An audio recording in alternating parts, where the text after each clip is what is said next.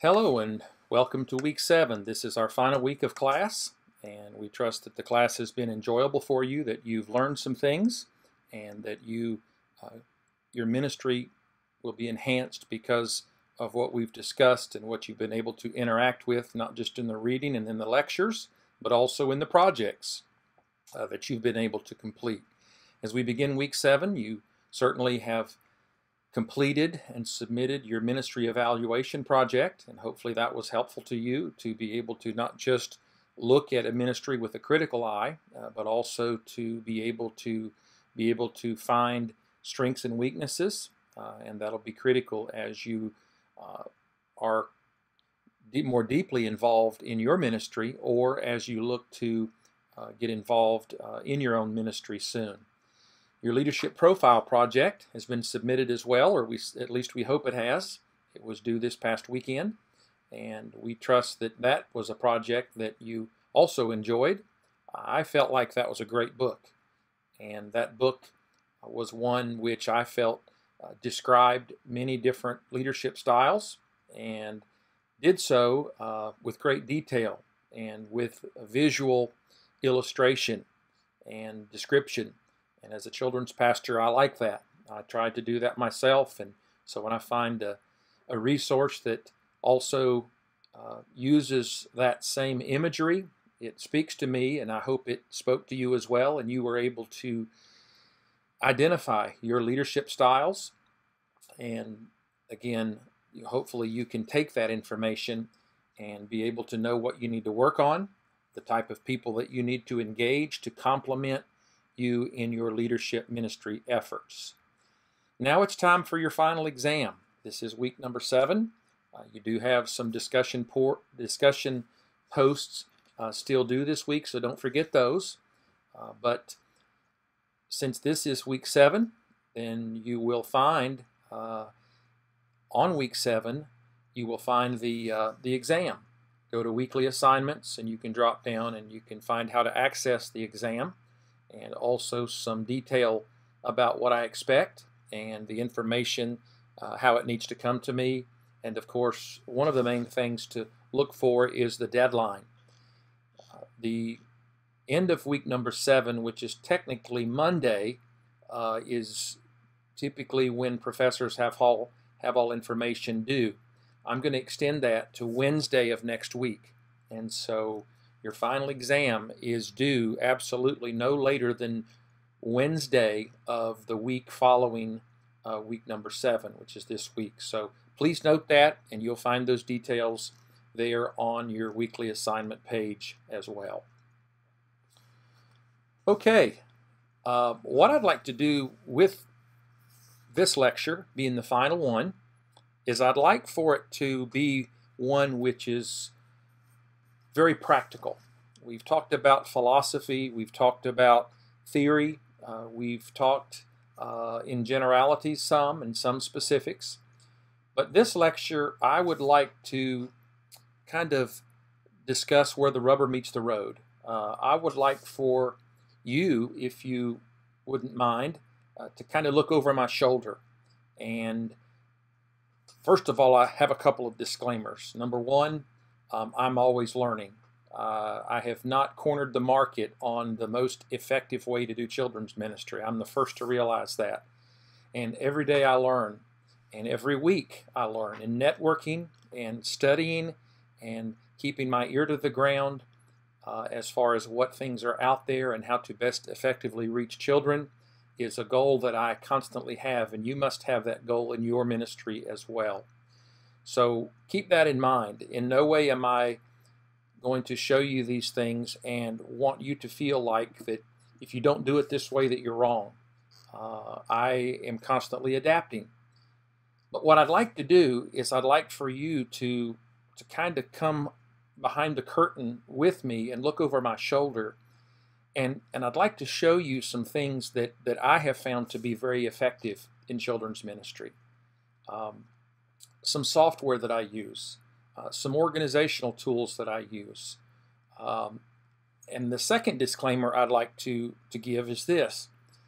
I, in no way am I trying to overwhelm you or to discourage you. Many of what much of what you see uh, will be years worth of, of work. Uh, and again, not perfect work, but uh, I started at a point. And to be honest with you, um, when I started, I didn't have a class like this to take. I wasn't able to look over the shoulder of someone who had spent two or three decades in children's ministry. And so, what I'd like to do now that we have spent several weeks looking at different facets of children's ministry, I would like, again, for you to just look over my shoulder and see some of the things that I have found to be very effective. Um, so, here we go. Uh, the good thing about this lecture too is you, you won't need to see my face much. This will be all you'll see really of me except maybe at the very end. Uh, there is a piece of software, it's called Camtasia, that I use.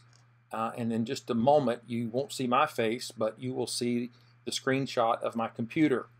And so that will allow you to see what I see um, and certainly be much more effective to understanding the behind the scenes look that we're about to take for the next few minutes. Okay?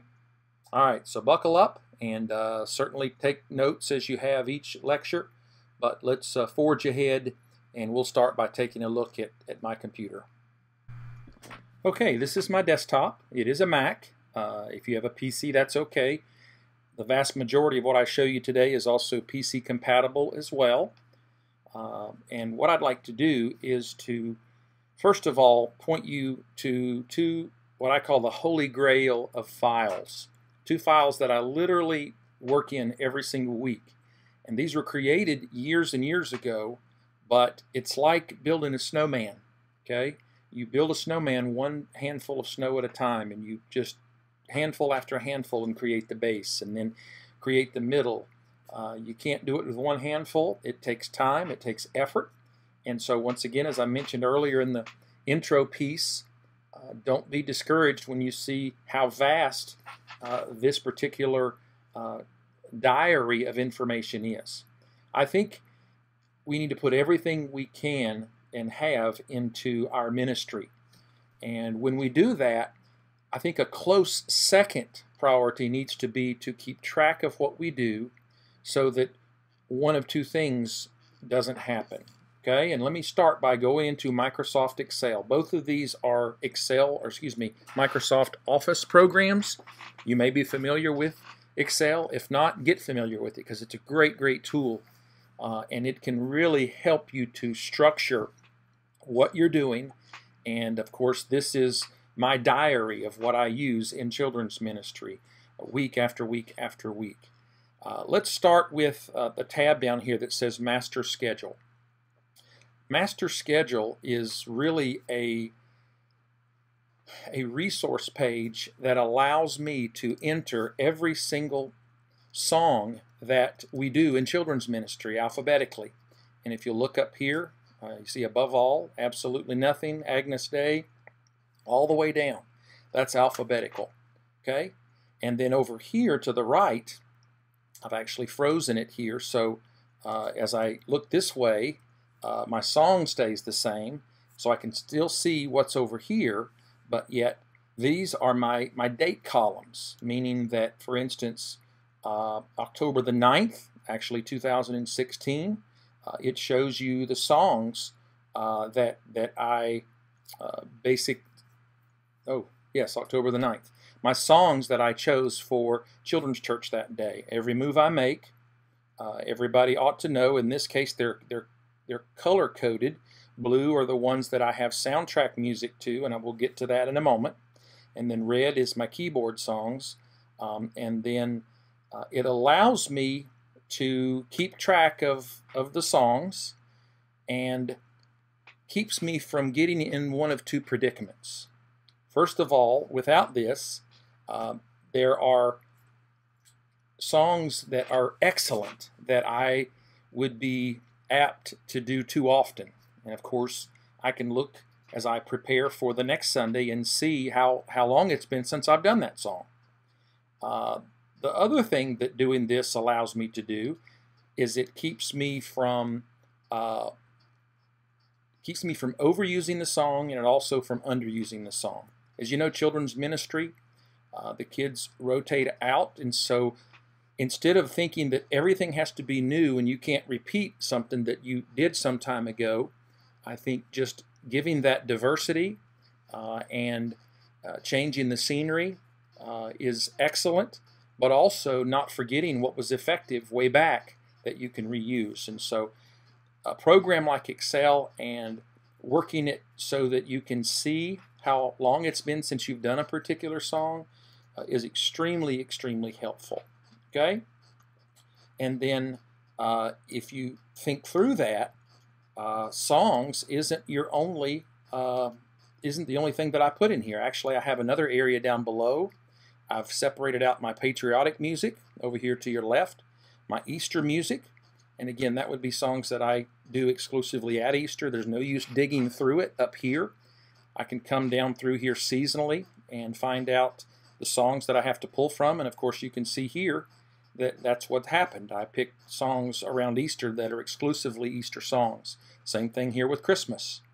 Uh, VBS, these are our VBS theme songs that we've used throughout the years.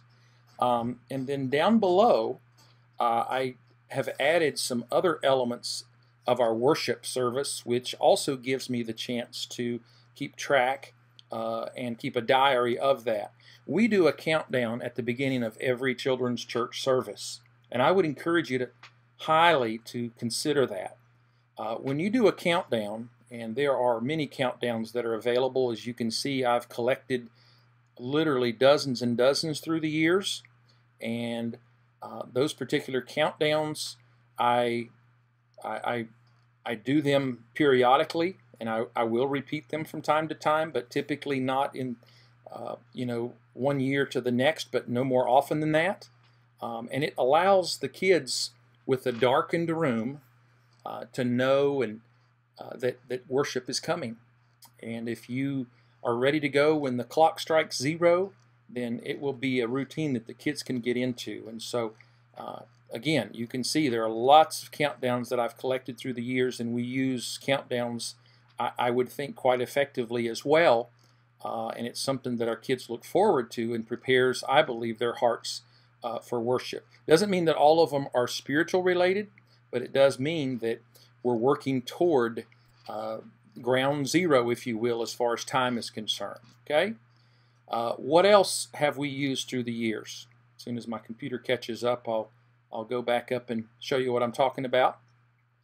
Uh, we've also used um, for games. Uh, we have games that we do uh, quite often. We'll do a, a, fun game at the end of the service, and, and we'll actually choose our children uh, using different methods. If you can see here on the video, child selection formats, um, there are different ways that we use uh, to select children to play. And then our games here uh, are are ones that we also keep track of, uh, and uh, it's it's helpful to be able to again keep track of those as well. Our worship videos, even before the countdown, we do worship videos that the kids can, as they're as they're coming in early. There's always something going on, and and again plugging that gap and being able uh, to uh, prepare their hearts for the service, I believe, is critical. Okay, now this goes way, way back. Uh, and I, I often don't look way far back, but at the same time, the information is there. And so that is really kind of the master schedule. How does that relate to uh, the weekly service? Well, if you take a look here, uh, most of the tabs at the bottom are, are, are labeled by the date. That's a Sunday. And what it does is it creates uh, an order of service that we go by. Uh, once again, you can kind of follow what I have come to uh, you know, create as a custom format here. Um, we have a countdown, a welcome, we have an opening song and a prayer. Uh, we always give the worship rules. We'll talk about the game right after that because quite often uh, we're watching behavior and enforcing the rules right before you talk about the game uh, is very helpful in reinforcing the fact that uh, at the end of the service down here, we're going to select based on that behavior much of the time, and it helps to reinforce the fact that we want them to be on their best behavior during the service. Uh, some songs, we do birthday, uh, and then some more songs, offertory prayer. uh, song during the offering, obviously a calmer song. You don't want the money flying around. Uh, and then we go into our lesson. Okay? So this particular order of service is custom uh, every single Sunday, and you can go back uh, as far back as you want. And once again, uh, there is that particular page for that service. We also involve our children. I think we talked uh, several lectures ago about allowing our children to get involved in service. just so you know, these are these are actually on the order of service. So the kids, uh, I can call the names of the kids and they can come up and help. These four children here, uh, they're going to come up and help during that song. Opening prayer, we have two services, and so the two people that are going to open in prayer are listed here. Uh, offertory prayer, the same way. Uh, and then the ushers are listed here. This is actually the one who reads the scripture, and then there's a pastor's helper. This does not include all of our helpers in Children's Church because there are others, uh, camera operators, laptop operators, laser pointers, that I literally have other workers to remind and fill those spots because it's not something I want to have to deal with uh, during the service. So again, you can see uh, kind of behind the scenes as to what our order of service looks like. Okay, what else do we have here? Um, this is our seal sheet. This is a, an, a very important sheet that goes into our newsletter every single month. And as children fill out their servant survey, they turn it in, and then I actually go to this page. I'll come back to the seal, uh, the seal sheet in just a moment. But this is a page that I've also created.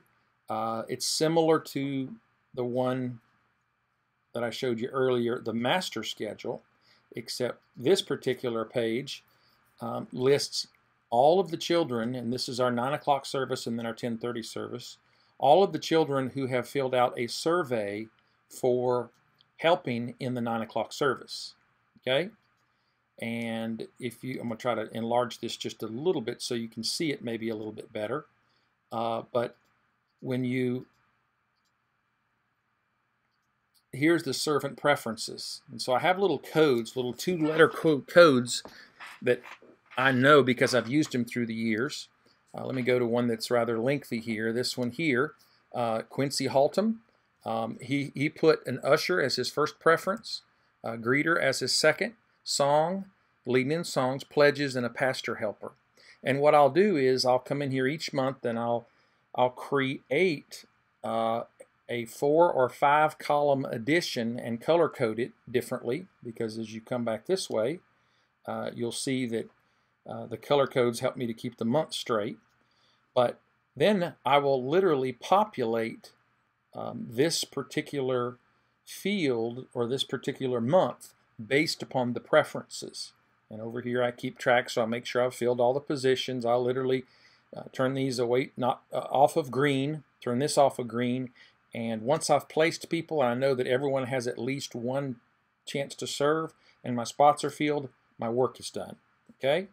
So these are my four song helpers, my four ushers, my two laser pointers, my two people who pray, and pastors helpers. And then once a month we do our pledges. And of course, this is the third week. And you can see here, pledge, pledge, and pledge. Okay? And so I can promise you it takes some time to do this. And it's well worth it because it uh, allows our children to get involved. Our second service is our older children, so there are more children involved. And you can see, let me back it back to 125% a little bit. Uh, you can see that, that more children are involved, so it does take a longer time uh, to literally assign people uh, responsibilities. But it's the same principle. These are all of the ways that they can serve. And let's look at this one.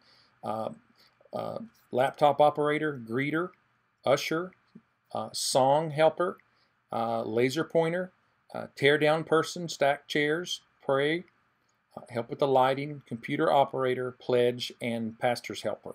Okay? And again, all of those uh, ways to help um, don't have to be in, in your opportunities for your children. We have just created as many opportunities as possible. And then once again, uh, let me give you an example. This person here, Calla Flood, she did not put prayer on her list. And so we will not ask her to pray. We want her to do things that she's comfortable with. However, we will take and apply uh, her choices and give her as much variety as possible, helping in a different way each month. Once those are populated, uh, then I simply take this information and I'll go down here to October and then we transfer that uh, to this particular sheet. As you know in Excel, you can copy to a other page and, and, and very simply recreate this sheet uh, custom to the month, take all this out, change the, the dates for that particular month, and then just starting start to put that information in. And when you're done with this sheet, uh, it's ready uh, to be turned into a PDF, to print, uh, to email out, and uh, also uh, it's just a great, great way to get your kids involved in ministry. Okay? All right, let's take a look at something else here. Um, and lesson diary uh, all the way back. Uh, and again, some of this is not populated, but you can see uh, that I have actually, through the years, uh, tried to keep track of, of the lessons that are done in children's church. And again, it's very easy to, to do. You have a date field here, and you have specific uh, title of your lesson, type of lesson, and how effective it was, some notes. And so it's just an excellent way uh, that you can keep track uh, of, of what you're doing. So again, you don't repeat it too often and you don't forget about something that was effective uh, through the years, okay? So uh, Excel is a fantastic uh, tool. It's a great piece of software. Um, and I want you to know that if you'll get used to it, you can use it uh, in a very strong way to organize what you're doing in children's ministry. Okay? Now, Let's, uh, let's take a look at uh, the other piece of software that I use that you may use also, and it's PowerPoint. PowerPoint is a fantastic presentation tool. Uh, PowerPoint is has evolved through the years, and there are certainly other forms of presentation software like Media Shout and Keynote, uh, and all those are great. But I I have I continue to stick with PowerPoint. Why? Uh, because PowerPoint uh, works for me and it allows me to use a piece of software where my children, my fifth graders, can easily, easily operate it. Okay? PowerPoint is a, a great presentation piece of software that allows you to uh, create slides, uh, of course, even find slides that are already in PowerPoint, project them on the screen, uh, and not only that, but you're able to also, if you would like, embed music and video into this particular uh, piece of software. Now, this is my Master Kids Church Songs internal file. And this particular file is one that I have created over the years. And I'll get to the end so you can see what I'm talking about. As I scroll down through all the way to the end, you can see that this particular piece of uh, this file has over 2,300 slides. And it is a rather large file because, again, I have embedded uh, audio into many of these slides. Uh, but what's cool about this uh, is, is it is a, a file that literally matches up. Let me use my Moom to move it over uh, to one side, uh, open up my Excel again, uh, and go to my master schedule. And then uh, what's cool about this is uh, this particular tab here, this page, is, is basically my index. these are my songs, and again, these are my slide numbers.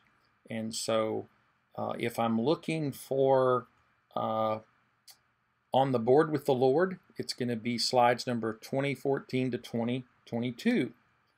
And so I would scroll down and turn the page, if you will, in the songbook uh, to uh, that particular page number. And if I go to 2014, uh, you can see right here uh, that um, if I double click there, that's the first page to On the Board with the Lord. And as I create my order of service from here, um, then I would literally copy this song, these one, two, three, four, five, six, seven, eight, nine slides over to another file and literally create uh, a, a file that is custom to that particular Sunday. Uh, let me show you what I mean. Because as I uh, minimize that and then open up uh, in just a moment, uh, October the 9th, then you will see that that particular file is made up of, of songs that have been copied from my master file. Oh boy, I just opened that same file. Hold on a minute. Um, let's go to 10.9.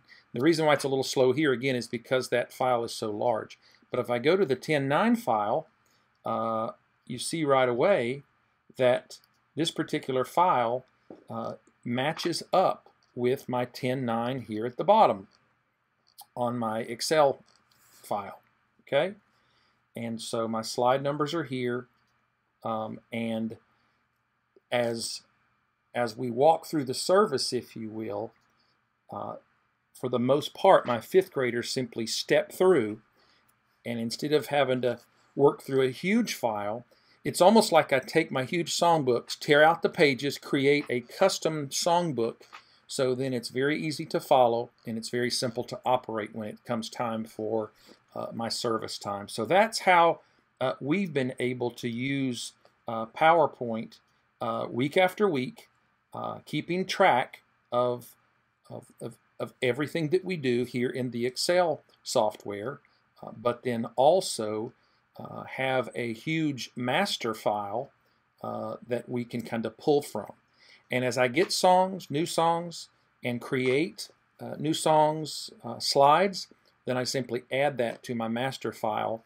I would also add it to my Excel file, and then again, it allows me to expand uh, the tools that I have to use uh, so that then I can stay current uh, and I can, uh, again, be able to, to, to be cutting edge but yet not lose sight of songs that we've done in the past and keep that variety uh, going forward. So hopefully you understand uh, how we use it.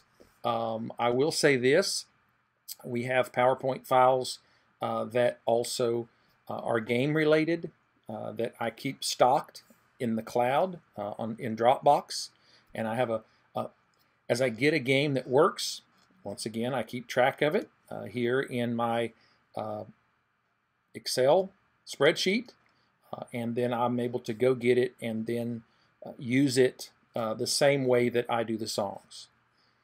Let me show you another couple of ways that I have used Excel.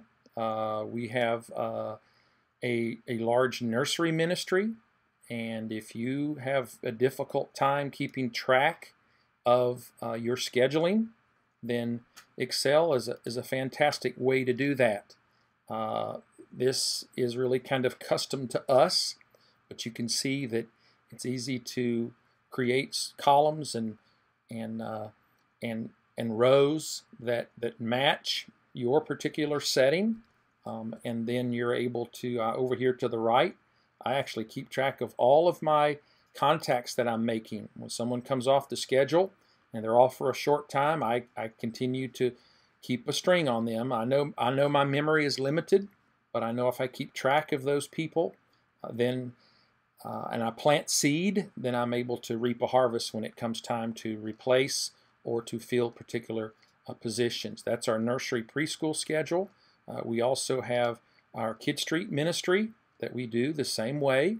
Um, and again, it's a file that I use often. I'm able to see who's scheduled to serve which Sunday um, and which service they help with um, and keep things uh, populated. And um, this schedule, of course, very simply, simply select it and uh, set your print area, and then you can save that as a PDF and send it uh, out uh, to the people that need to get that particular schedule, especially if it is uh, edited and changed and updated.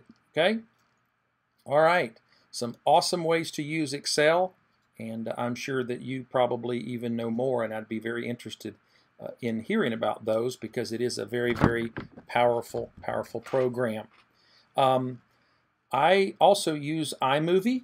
Many of you, uh, that's actually the first part of my uh, my lecture here, where you can video yourself. Uh, and then, of course, what I'm going to do at the end of this lecture is I'm going to take uh, the the video that's created from Camtasia and add it to the end of this and then you will be able to uh, see the entire movie, if you will, lecture that has me at the front where I created that in iMovie and then again I'll piece together here toward the end uh, the um, Camtasia video which will include the uh, computer screen version. Okay? All right. What else do we have to look at? iTunes. Uh, many of you have iTunes if you have a Mac or maybe you have the, the Windows version, but iTunes are a wonderful way uh, to collect music and uh, be able to stock that away and store that um, in a way that uh, you can use as background music, um, use it to edit music. Um, I actually use WavePad as my audio editing software, and it's a it's a great little tool uh, that that you can purchase. It's not very expensive, and actually there are even free audio software programs that are out there, and uh, it's it's really really interesting how you can uh, edit your music. You can ramp in and ramp out. Uh, you can do clips and snippets and things, and and so don't discount the fact that you're able to do some really cool things. Uh, get into WavePad and play around, and I think you'll find out uh, that it can be a, a tremendous tool. Okay. Um, let me see what else we got here. A PDF Studio is a great tool. Uh, many of you create PDFs because it's kind of the standard for uh, sharing information that really isn't intended to be editable. But PDF Studio gives you actually uh, some editing capabilities, which can be extremely helpful, um, where you can uh, insert uh, different pages and create a PDF of multiple uh, pages. Uh, you can do lots of things with PDF Studio. it's opening now a little bit slow, but once it comes up, you'll be able to, you'll be able to see uh, what uh, PDF Studio uh, can do. Um, I use it a lot. I use it a lot, and uh, it's, it's very helpful. We always, uh, whenever we do our newsletter, we have both a parent and a child newsletter that we do each month. Um, and if you like, you can go to uh, tbcnow.org and drill down to Kid Street, and you can find both PDF versions, the current versions, and also archive versions that go back about a year. And so uh, a lot of that is done through PDF once I get my publisher file uh, complete. Okay? Well, it's a little slow now, but I know the feeling. What else do we have? Um, image size reducer. Uh, here comes PDF Studio. Many times when you collect pictures, and I encourage you to collect pictures within your your ministry. It's interesting. It's it's a lot like uh, putting everything into programming and then not being able to keep track of it, uh, like we like I do with with that Excel diary file. Well, the same thing happens with pictures. Uh, we go to all this effort and we don't take the time to take pictures, which can really go a long way to representing our ministry, promoting our ministry, and parents love to see their kids engaged and involved. And so as you take pictures, uh, if you have a good camera, they're going to be large. And image size reducer uh, is, a, is a cool little program I've used for years that allows you to reduce the size of images in a batch way. Uh, you can do it one by one. You simply uh, add image to convert, and you go find that image, and it'll let you do it one at a time. Uh, the one I use more than often uh, is, and here's where it wants me to go get that picture, is the add folder. You can do a whole folder. Once you select it, you come over here and you set how how small you want that picture to be as far as uh, uh, a data is concerned. Many pictures are many, many megabytes. And if you don't reduce the size, then it's going to take up your storage quickly and be very hard uh, to transmit uh, and things like that. Okay? What else do we have? Um, let's see. Uh, da, da, da, I use Dropbox and also use Google Drive. I, I, there are pros and cons of both, and uh, I, I think that both can be a, a great uh, cloud-based solution. Uh, and of course, if you're using audio and certainly video, then uh, your external hard drive is going to get full pretty quickly, and it's also going to affect the performance of your machine. So, so keep that in mind that you really uh, need to uh, have a cloud-based solution uh, if at all possible. Okay, so there you have it. Uh, you have seen kind of behind the scenes at some tools that I have used over the years and whether you currently use those tools or will explore the possibility of using the tools that are out there, I do believe it can help enhance your ministry and certainly create an appeal uh, and allow you to organize and structure uh, your ministry uh, to the best that it possibly can be structured. Once again, thank you again for this class. Thank you for attending. It's been a pleasure having you all a part of this class. I wish you the best on the exam, and if you need me for anything, don't hesitate to email. God bless.